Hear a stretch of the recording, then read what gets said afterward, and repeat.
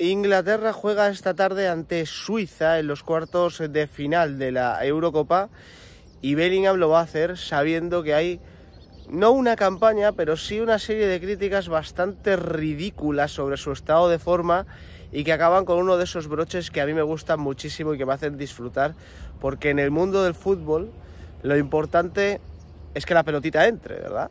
Bueno, pues de Bellingham dicen que es que solo mete goles. Ay, madre, ¿dónde estaría Inglaterra sin los goles de Jude Bellingham? Vamos a ver estas declaraciones totalmente fuera de lugar que han salido desde Alemania. Adiós.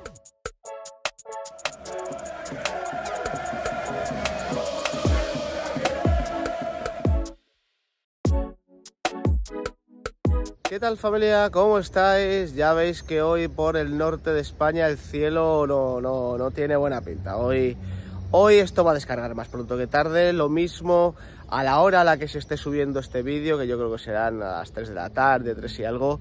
Ya está lloviendo con ganas aquí en, eh, en Unquera sobre todo. Luego para terminar el vídeo os haré lo, lo típico, ¿no? De un paseo con la cámara por esta parte que tengo a mis espaldas que es muy bonita, pero he venido a hablar de unas declaraciones de Haman, eh, exfutbolista, iba a decir entrenador, no, entrenador no, porque, porque su, periplo como entrenador acabó creo que en 2011. Tuvo un año en un club, eh, se debieron dar cuenta de que este hombre no valía para tal, no, volvió y ahora se dedica a comentar, ¿no? Eh, está muy bien, eh, sobre todo en Inglaterra, en Alemania y esos sitios, la nómina de comentaristas que han sido antes futbolistas tal, está bastante nutrida, ¿no? Es verdad que en España tampoco podemos darnos golpecitos en el pecho porque aquí tenemos a Mario Suárez, Juan Fran al palo y algún otro, pero este tal Haman, eh, para el que no lo conozca, Dietmar Haman, eh, digamos que es uno de esos que cada vez que habla sube el pan. Y hoy, como ya sabéis, juega Inglaterra ante Suiza en un partido que, como ya os, eh, os voy avisando, habrá crónica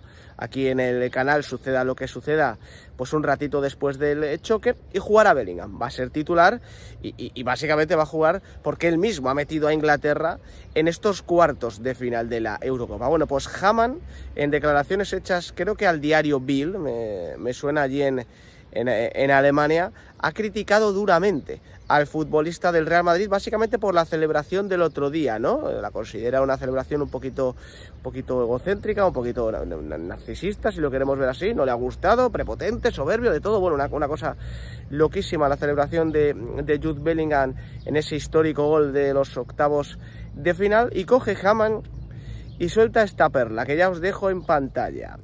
No me gusta su comportamiento. Sin los compañeros, no eres nada aparte de sus goles, no hace nada. No se le vio en los primeros cuatro partidos. Yo esperaría y vería dónde está en dos o tres años. Bueno, a ver, o sea, eh, las declaraciones te dejan varios titulares que son casi, casi históricos, diría, ¿no? El primero, voy a dejarlo mejor para el final. El primero es, vamos a ver dónde está dentro de dos o tres años. Pues sí, claro, vamos a verlo le, puede tener una lesión grave, eh, yo qué sé, se puede retirar del fútbol por una enfermedad, ojalá no, ¿eh? eh o, puede ser el mejor jugador del mundo dentro de dos o tres años, vamos a verlo, ¿no? Pero si quieres hablamos de la actualidad, ¿no? Querido Haman, Jude Bellingham, 20 años, mejor jugador de la Liga Española nada más llegar. Jude Bellingham, 20 años. Clubes como Liverpool, Manchester City o Real Madrid, que es donde está ahora, pujaron por su fichaje llegando a los 100 millones de euros. Es decir, cojo no es. O sea, no es que hayan ido a por él Chelsea, Barcelona o PSG, que son clubes disfuncionales. No, no. Han ido por él pues los dos mejores proyectos del mundo del fútbol, que son el Real Madrid y el Manchester City, y luego el Liverpool, que suele tener buen ojo para fichar, sobre todo en el centro del campo, y si no, que pregunten por McAllister, que la está rompiendo allí en Anfield. Vale. Jude Bellingham, 20 años. Figura en la Champions. Jude Bellingham, 20 años. Campeón de Liga, campeón de Europa y campeón de la Supercopa con el Real Madrid en su primera temporada siendo titular indiscutible en el club blanco, que no es cualquier club. Jude Bellingham, 20 años, rompió, eh, eh, yo qué sé, su, registro goleador histórico, que tampoco es muy grande porque es muy joven, en los primeros seis meses en el Real Madrid. Lo digo porque sí, podemos hablar dentro de dos o tres años, a ver dónde está parado Jude Bellingham, a ver qué hacemos con él, a ver si, a ver si es que hay que cederlo al Getafe o alguna cosa así, pero vamos que de momento, la carrera de Jude Bellingham, a ver, mala pinta no tiene. Mala pinta no tiene. Y jugar así de bien en una primera temporada en un club como el Real Madrid, o me te quiero decir, no está al alcance de cualquiera. ¿eh? Sé que a lo mejor hay que esperar a que tenga 47 años para hacer un análisis más certero de su situación, pero no está mal tirada. Luego, siguiente, siguiente titular que me deja, lo de eh, los cuatro partidos no se la ha visto. Hombre, no se la ha visto. Quiero decir, en el primer partido, en el partido inaugural de Inglaterra, fue el mejor. Los 60 primeros minutos de Bellingham son un escándalo, más allá del gol que marca. O sea, es el mejor de Inglaterra en ese partido. Y luego es verdad que el segundo y tercer partido son más flojitos, pero porque a nivel general Inglaterra juega muy mal al fútbol y eso arrastra no solo a Bellingham, sino a todos. Eh, no has visto a ningún jugador de Inglaterra destacar en estos primeros partidos. Y luego en octavos de final, si será una gran tarde de Jude Bellingham, sí que es el héroe de la selección con ese gol de Chilena. Es decir, para no verle en los cuatro partidos, en uno fue figura y en otro fue héroe. O sea que bueno, quiero decir, en la mitad de esos cuatro fue el hombre más destacado de Inglaterra y para el final lo mejor. A mí estas cosas me hacen muchísima gracia porque de hecho eh, en los peores momentos quizá de Vinicius esta temporada lo utilizaban, ¿no? Es que Bellingham lo único que se le ha visto es marcar goles. ¿Ya? Y por eso precisamente Inglaterra está en los cuartos de final de la Eurocopa, porque a Bellingham le dio por hacer una chilena donde no había nadie para meter la pierna. O sea, es que lo de, lo de solo marca goles en un deporte en el que el que gana es el que ha marcado más goles, a mí me parece gracioso. No, es que Ronaldo Nazario solo marcaba goles. No, es que Cristiano Ronaldo es un gran goleador, pero solo ha sido eso. Como si.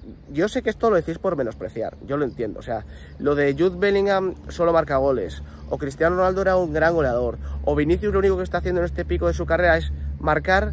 Yo repito, sé que lo decís por eh, infravalorar, con intención de menospreciar pero es que es un elogio tremendo, no sé si os habéis dado cuenta.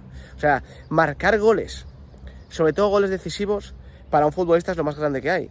Y Jude Bellingham, que no es delantero, que no está en el Real Madrid para eso, y que en Inglaterra tampoco está para eso, resulta que es uno de los máximos goleadores del Real Madrid, el equipo más fuerte del mundo, y uno de los máximos goleadores de Inglaterra, que debería ser una de las series favoritas para ganar la Eurocopa, pero que por fútbol evidentemente está lejos de serlo. Y te coge Haman y te dice, un tío que en 2011 entrenó a un equipo y que no han querido volver a saber más de él en ningún banquillo, oye, que Bellingham solo marca goles. Bueno, pues demos gracias, bueno, yo no, los ingleses, a que Jude Bellingham, entre comillas, solo marca goles. Porque sin los goles de Jude Bellingham, habría que ver dónde está Inglaterra. Bueno, ahora estaría eliminada, obviamente, sin el gol que metió el otro día, estarían de vacaciones, que a lo mejor es lo que quería Haman, estar de vacaciones ahora mismo.